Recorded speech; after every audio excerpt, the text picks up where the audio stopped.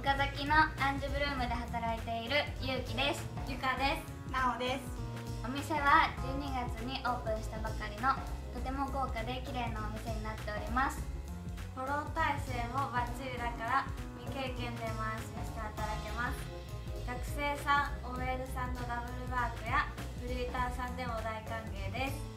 岡崎で働くならぜひアンジュブルームで働いてみませんか？たくさんの応募